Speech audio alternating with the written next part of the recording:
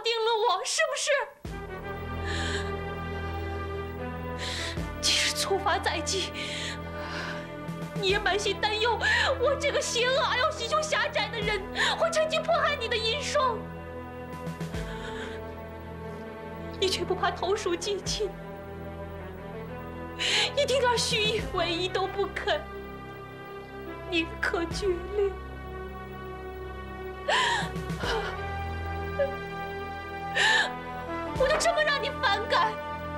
嫌恶，让你连你掩饰一下都做不到。即使是为了保护你的心上人，你也不愿意这么做。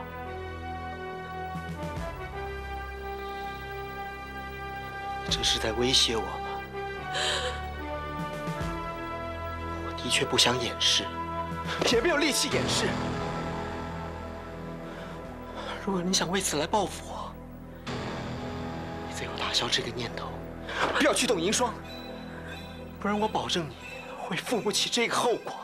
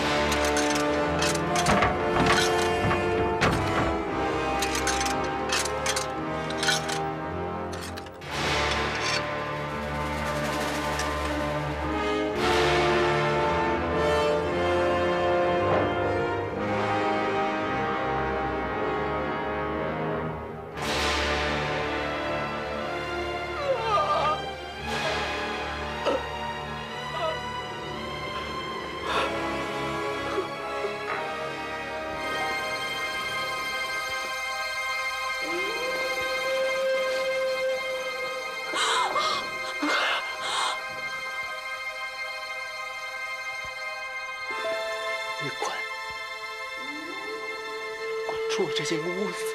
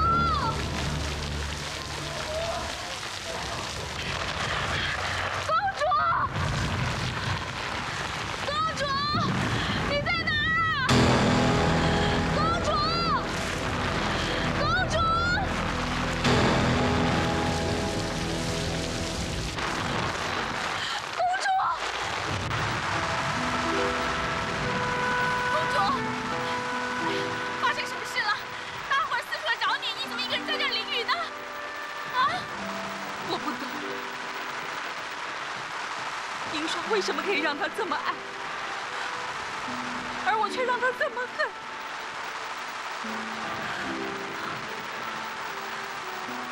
咱们听底下人说过，说银霜是狐仙，说他是白狐变的。我告诉你，我开始相信了。你知道浩真是怎么对我的吗？他可以狠狠的伤我，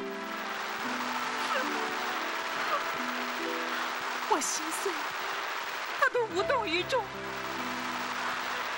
我打败了只白狐秀萍，他居然像疯了一样的，他的眼神像要把我生吞活剥了，在他眼里。我还不如一只绣 不如一只白狐绣皮。公主，到底怎么了？怎么说这些稀奇古怪的话呀？啊 不奇怪，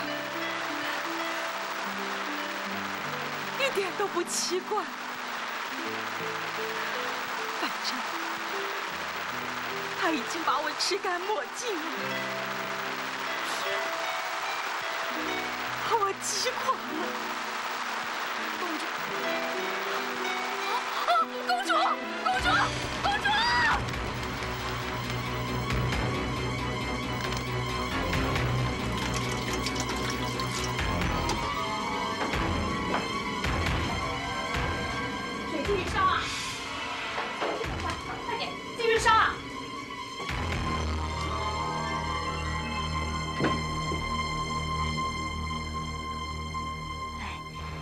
先喝点姜汤，去去寒气。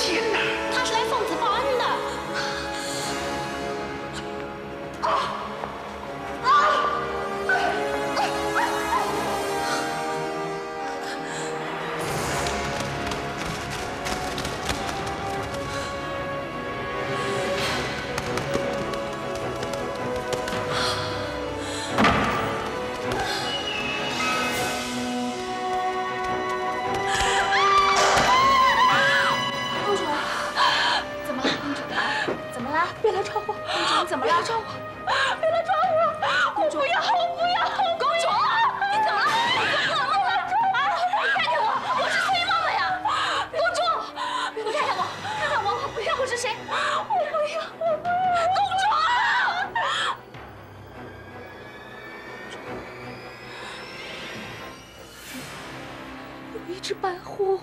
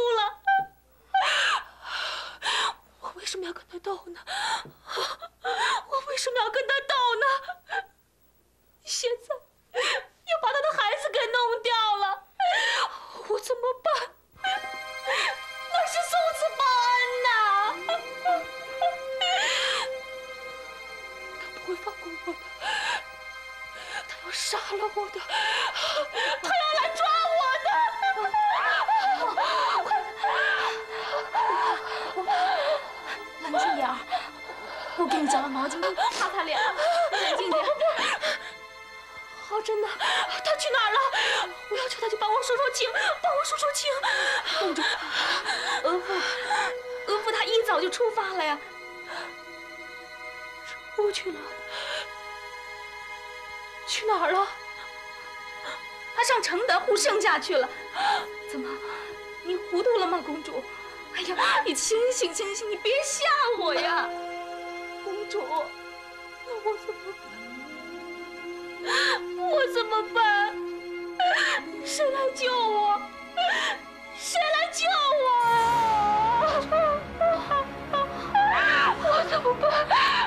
怎么办？没事，我怎么办？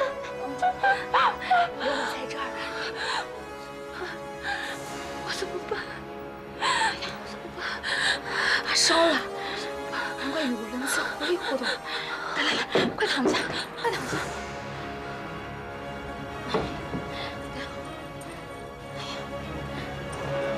我去给你传御医去啊！叫传御医。公主怎么了？呃，据说是昨个夜里受了风寒，不过还有另外一说。什么另外一说呀？说是冲撞了胡煞。胡煞？怎么会扯上这些怪力乱神呢？是啊，这话从何说起？公主呢，昨个晚上来找过贝勒爷，两个人谈些什么，奴才也不大知道。总之呢，是不太痛快，而且呢，那个白狐绣品给打坏了。那又怎么样？你在暗示什么？呃，福晋先答应奴才不生气，奴才这才敢说。哎呀，你再拐弯抹角的，福晋可真要生气了。有什么话你就痛痛快快的说。是是是是，这个其实奴才也是听来的嘛，传言也已经不是一两天了。什么传言？你说你说。是，是关于白姨太的，大家私底下都说她，她是个胡大仙。什么？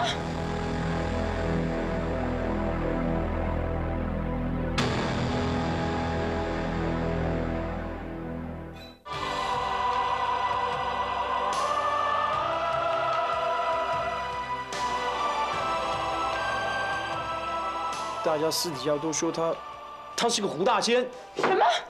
真是岂有此理！怎么会有这种谣言呢？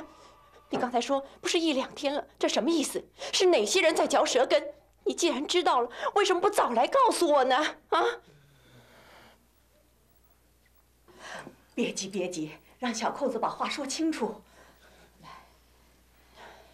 哎呀，你还不快说！啊，是是是，呃，这话呢究竟怎么传起来的，奴才弄不太清楚。大约呢，总是在白姨太给收房那一阵子吧。这种异军突起又属风流韵事，根本上就引人入胜。偏巧呢，姨太又姓白，贝勒爷又有那么桩放生白狐的事迹，这就叫人给穿着附会啊。说姨太正是那只白狐化成人形前来报恩的呢。当时她又怀有身孕，这下子大家便深信不疑了，这谣言也就不胫而走了。荒唐，全是无中生有，一派胡言。呃，福晋请息怒，一人传虚，万人传实，谣言就是这么回事。连贝勒爷屋子里摆个白屋绣屏，大家也都传得起劲啊。所以公主一病倒，大家都说她是冒犯了大仙，一为孩子小产，二外摔坏了绣屏，大仙便作祟了。胡说八道！你要是再听到什么人在那嚼舌根，你立刻给我抓来，我要好好的惩罚他。我要看看谁还敢在那散播谣言。其实原来这么传的时候呢，大家对白姨太也抱有一种敬畏的态度。奴才也想这么着也好，多少呢有点保护的作用。可现在情况就不太妙了，希望公主不要借口找麻烦才好。你是说，恐怕这其中有诈？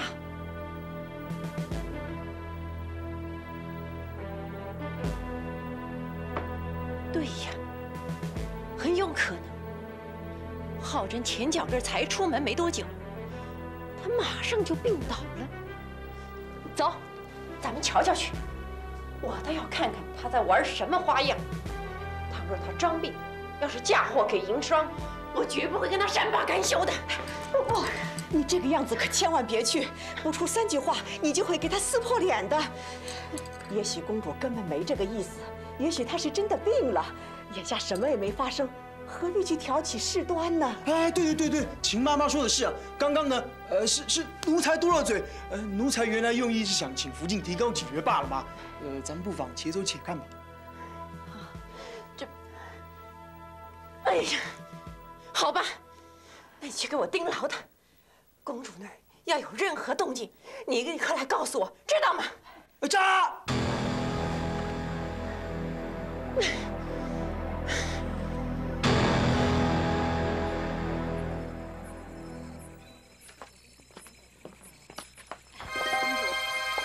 我看你就别去了吧。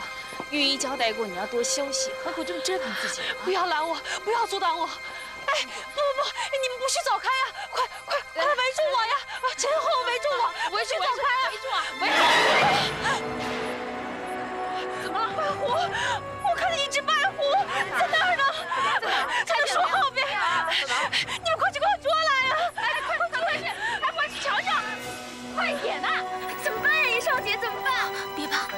谁呀？穿新白，谁呀？白姨太，白姨太，江琪。你们找到我了？在哪儿？在哪儿？在哪儿？真的是！你看见了没有？真的是他呀！真的是他！别怕，别怕，公主，不要过来！不要过来！不要让他过来啊！啊好。公主，公主，请原谅，我知道我犯了大忌讳，不该如此穿着。我别无他意，我这是在为我爹守孝。瞧，这是我爹的牌位，因为不便出府祭拜，所以，所以我有时候就敲它给我爹烧些纸钱，聊尽心意。公主，我你当然不会承认的。我是无心撞见的，绝非有意。我原本只是想和你谈谈，没想到，我真的没想到。天哪，他居然真的是！那我完了。公主还有活路吗？我还有活路！冷静点。救命啊！别这样，你别这样！救命啊！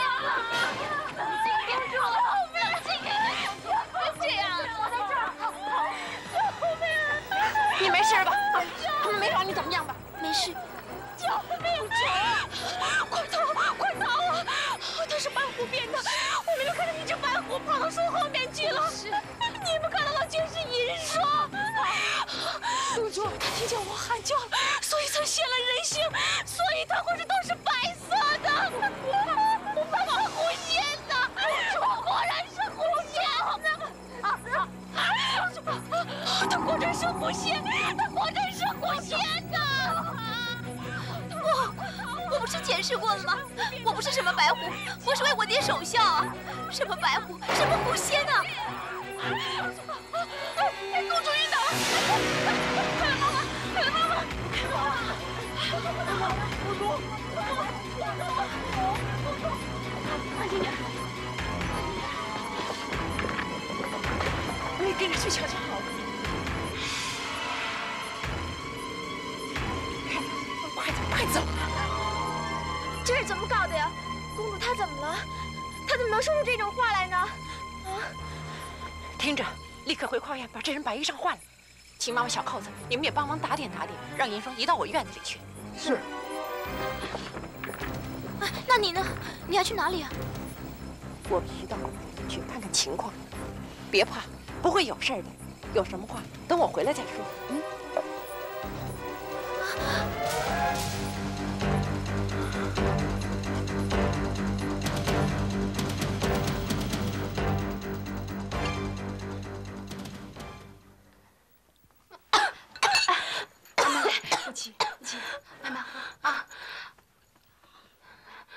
开的方在哪儿？去拿来我瞧瞧。是。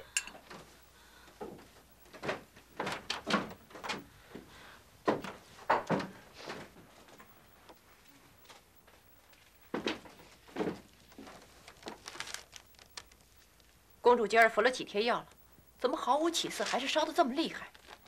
照说现在应该服药，你却给她喝参汤，你到底有没有按时伺候汤药？当然有啊，难道是我不希望公主快点痊愈吗？可是公主她总是不敢按时服药，所以我就熬点参汤让她补补元气嘛。不管是妈妈的事，额娘，你听我说，药是没有用的，我我只是邪祟上了身，什么药都医不好我的。公主，你千万别这么说，你可是福禄丰厚之人啊，必然会平安无事的。啊，你不是邪祟上身，只是受了风寒，不吃药退烧，病怎么会好呢？你这样一直烧着，难怪精神恍惚，产生幻觉。也许不是幻觉啊。公主说她看见了白狐，紧接着大家就见到白衣太，一身的白衣，真吓人啊！她不是已经解释过了为什么要身穿白衣了吗？她她当然会有理由了。你这话什么意思？我的意思是说，公主的病情也许真的不那么简单，在她没发烧之前，人就已经不太对劲了。昨天晚上我在花园里找到他，他正在淋雨，淋得浑身都湿透了，而且说起话来古里古怪的。他跟我说，说什么他在额夫的房里打翻了一个白狐绣瓶。当时我还不以为意，现在想想，中邪之说还真不能不信啊！你就是你们这帮人以讹传讹、危言耸听，弄得公主神志不清，病情更加严重。不过是淋雨受寒，你们偏要绘声绘影的胡乱编排，简直是不可理喻！你别那么激动啊！你瞧公主吓成那个样子，怪可怜。崔妈妈，崔妈妈，来来来。别再争了，说破嘴也没有用的。我对浩真就是这样的，挖心掏肝的，可他一个字都听不进去呀。一双把每个人的心都收服了，你还看不出来吗？他已经成功的孤立了我。哦，对了，说不定狩猎之心就是他的法力造成的。瞧。他让我孤立无援，然后就可以好这一下子来对付我了。不会的，公主，你怎么会孤立无援呢？你还有皇后啊！明儿一早，咱们就进宫找皇后去，离开这可怕的地方。不准！你们不可以在这个时候回宫。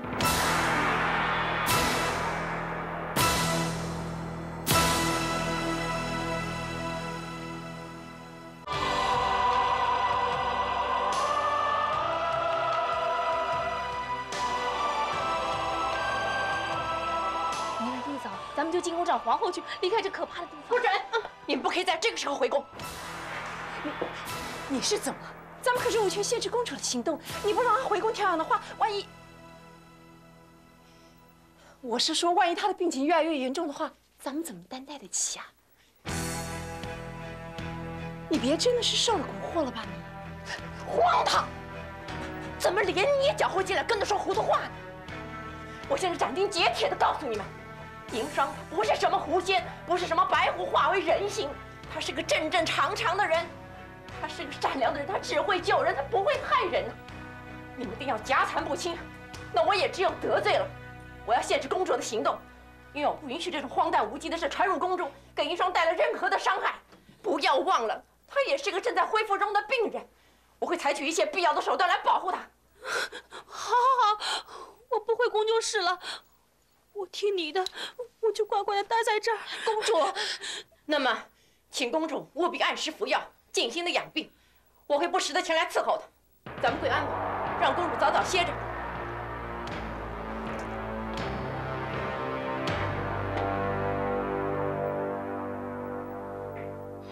真是不敢相信，福晋他居然会为了袒护一个姨太而限制公主出府。哎呀，看起来这屋里……怕真是有狐仙在作祟了，所以啊，咱们哪里斗得过他呀？就是逃回宫里也无济于事呀。搬出皇额娘来，怕是也镇不住他呀。那怎么办？怎么办呢？啊，有了有了，我们请道士来帮忙啊！对呀对呀，哎道士他们是专门帮人家消灾解厄的，他们懂法术。肯定有法子来对付这些鬼神大仙。不错不错，事不宜迟，明天怎么样？你都帮我找个道士来，听见了没有？好，好，明天我一定想办法，一定帮你找个道士来。啊啊，不怕。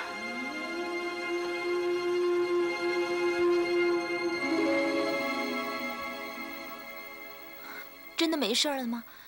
我把公主惊吓成那个样子，我真的好担心啊。公主啊，是病糊涂了，又受了谣言影响，才会有那样反应的。唉，听小扣子说了以后，我才知道自己的大意，竟然引得谣言满天飞。我怎么老是在闯祸呢？一波才平，一波又起，弄得我自个儿困扰，更是你们为难呢。孩子，我知道基于一片孝心才身穿白服的，你也尽量避人耳目，终究避不过那一些好事之徒。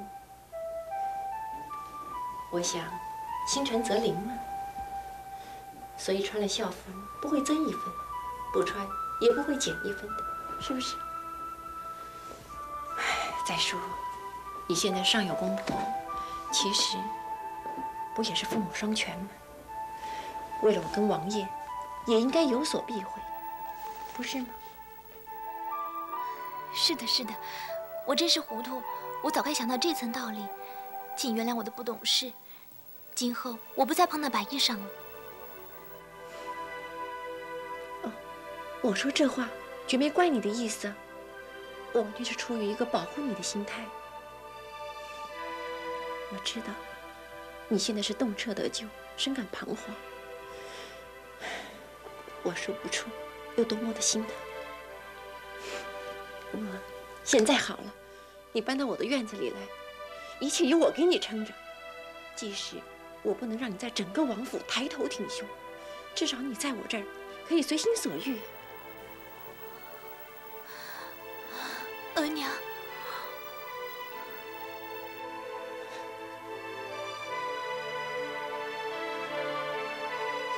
好了好了。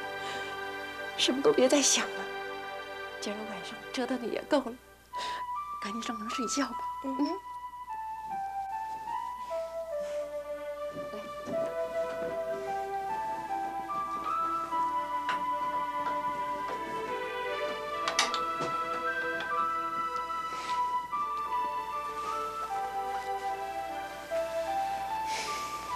啊，跟我同榻而眠，你或许感到不习惯。改名儿干不？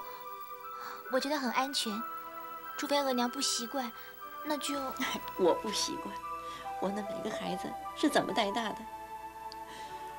尤其是我那三个已出嫁的女儿，都长到十七八岁了，还常常来腻着我呢。我已经很久很久没有感受到那种母女共枕一夜话到天明的温暖了。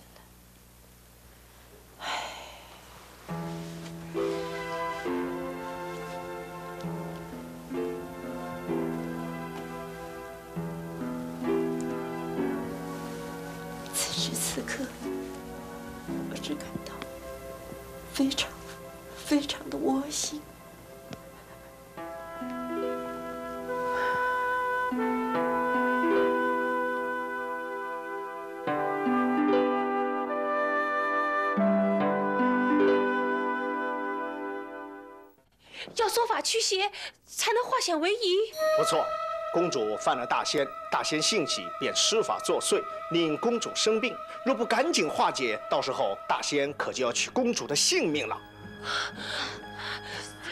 那那究竟该怎么做呢？道长，请讲，快请讲呀！必须设坛，公主摒除杂念，坐以坛后。再见那位白姨太绑至坛前，贫道即可做法化解。你听见了没有？快按道长的吩咐去做呀！叫大伙帮忙设坛，弄好以后把白银霜给我带来。哎，快去呀！公主，白姨太现在人住在福晋那儿啊。啊，对了，道长，我请问你啊，是不是非得这个白姨太她本人亲自在场，才可以做法化解啊？那当然啦。贫道必须和她面对面的斗法，使她现出原形，邪咒嘛，自然也就破解了。大王真的能让他现出原形吗？你还犹豫什么？只要他现出原形，我就得救了。不单是我，所有被他迷惑的人也都会清醒过来。所以，我不管你是用骗的，用抢的，总之你要把白云霜给我带来。你听见了没有？快去，快去呀！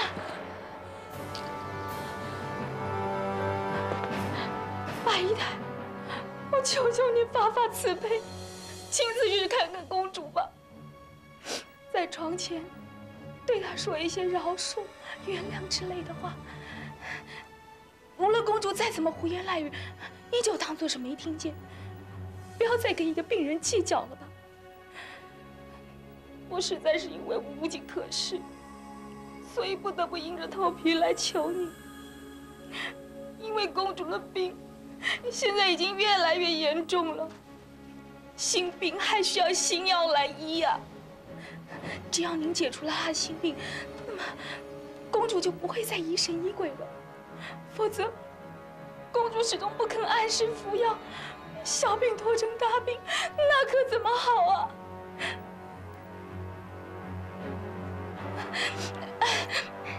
白姨太，我知道，我知道您是一个好心肠的人，这么做固然是委屈了您，可是不管怎么说，救命要紧啊，是不是？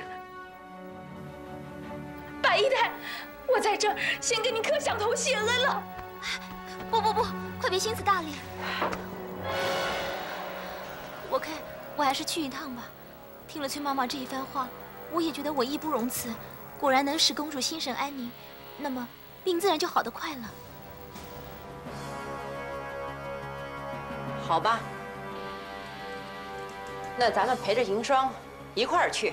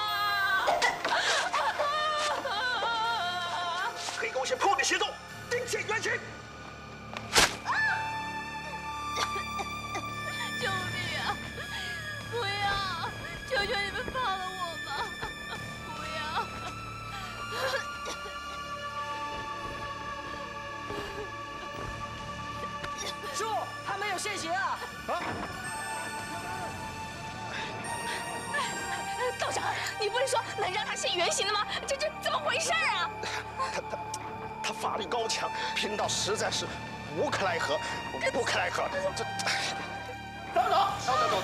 哎，道长，道长，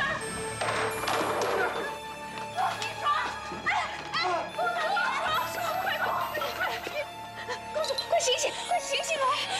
怎么，道长做完反了没有？有没有现形啊？啊，有没有？你怎么样啊？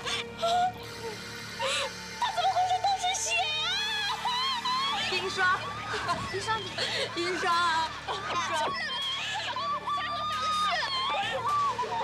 医生，医生，他们对你怎么样了？那道士有没有弄伤你啊？医生啊，医生！我骗你这样欺负人，别哭别哭，咱们也吓坏了，幸亏没伤着你啊！可恶可恶！那个臭道士呢？射满昆水！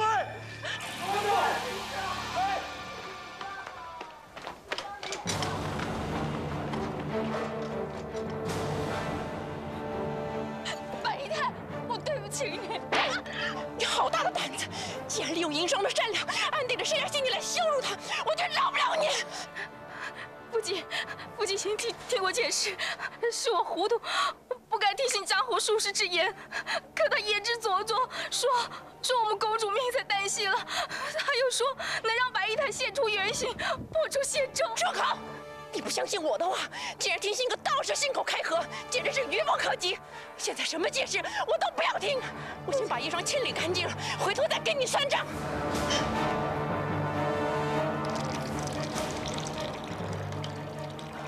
差不多了，这盆水就够用了。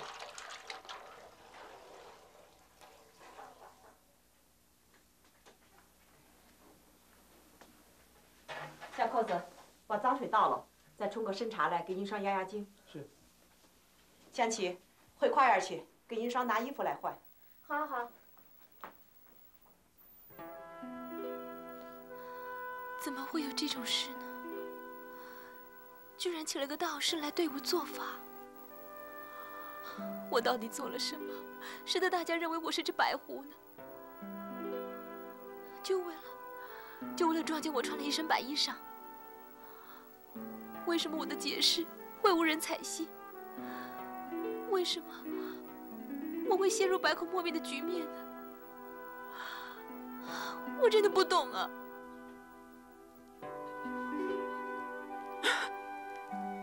你说，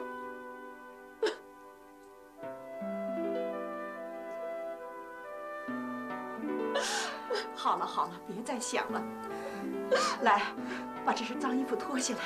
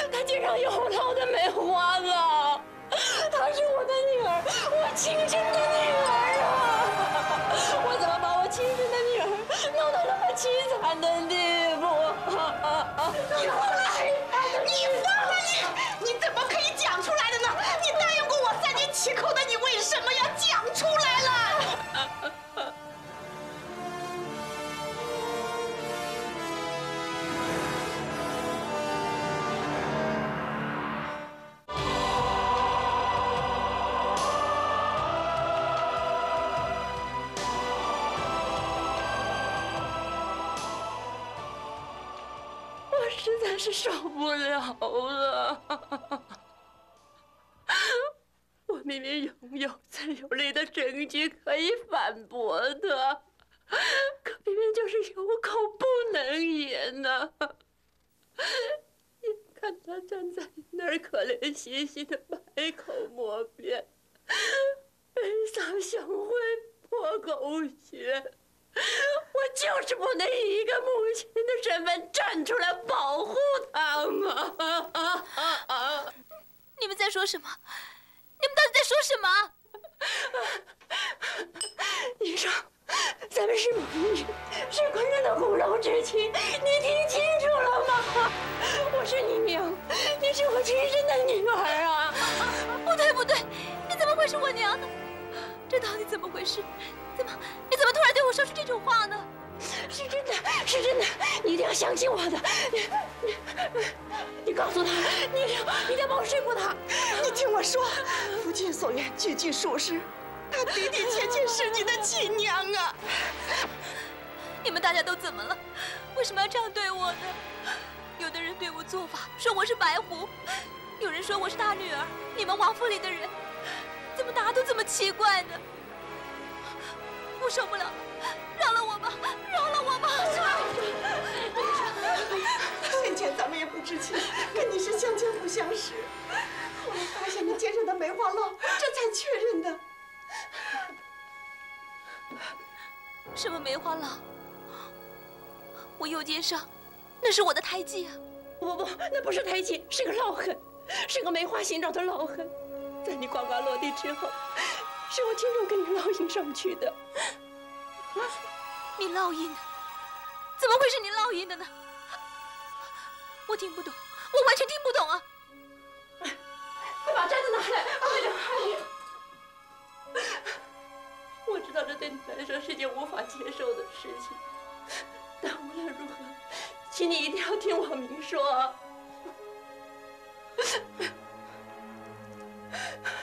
在二十年前。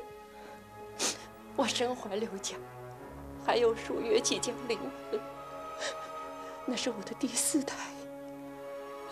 我前面已经有三个女儿了。这个时候，王爷过寿，众多贺礼当中，有一样，既然是回疆美女，也就是现在的侧福晋，偏偏，请你想想我当时的立场。没有子嗣新从进门的压力底下，我的地位是岌岌可危了。所以，经由我的姐姐秘密张罗部署，在我生产的那一天，她避人耳目的偷运进来一个男婴。如果生男，那就是皆大欢喜；可如果生女，那只有投龙转凤。结果。我生了个女儿，那就是你呀！怎么会有这种事呢？为什么要扯上我呢？你凭什么认为是我的？凭这个梅花簪子，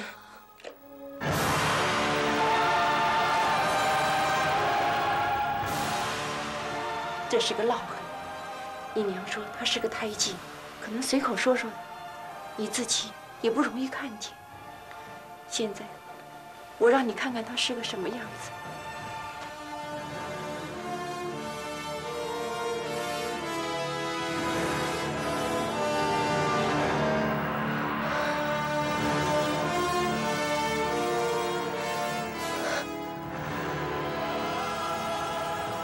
瞧，你看得出来，它是朵梅花的形状，对不对？就跟这个簪子一样，当初就是用它来烙印的，也是同样的地方，都在右肩上。可你的身世完全是个谜。你，你并非是我和你娘亲生，你是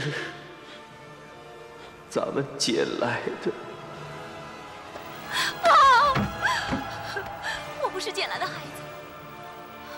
这是我的胎记，不管他形状像什么，我娘说是胎记，他就是胎记啊！你不能拿一个簪子来给我看，就要我相信说的一切啊！不是簪子，还有杏花溪，我姐姐秦英的弟弟。而你告诉我，你的父母就住在溪边上，他们定是在溪中发现你的。不是不是不是这样的，还有出生日期啊！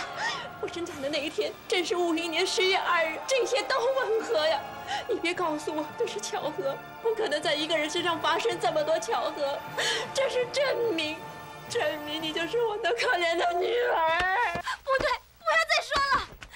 如果我是你的女儿，那后这算什么呢？